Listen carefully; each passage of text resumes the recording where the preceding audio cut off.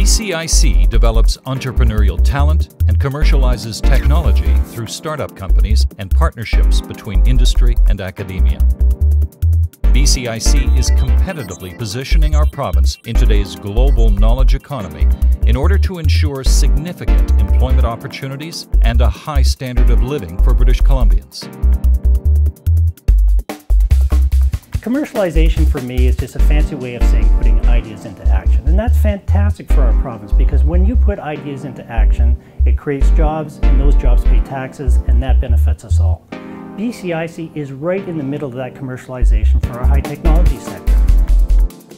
BCIC does this by developing programs and partnering on initiatives that promote entrepreneurial talent development and retention, the commercialization of technology, and technology awareness.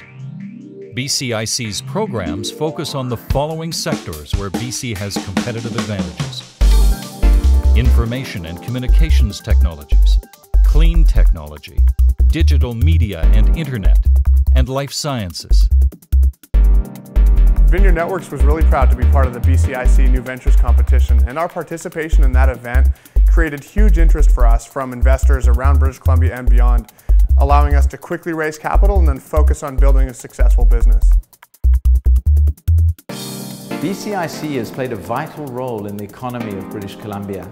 They've made very significant investments into the life sciences sector and in particular into Life Sciences British Columbia.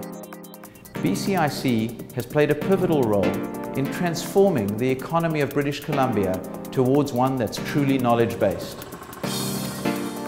These efforts are establishing BCIC's position as a critical component in promoting economic development and strengthening BC's knowledge economy through its programs and strategic initiatives, BCIC is empowering a new generation of entrepreneurs, thus building a sustainable economy for the future of British Columbians.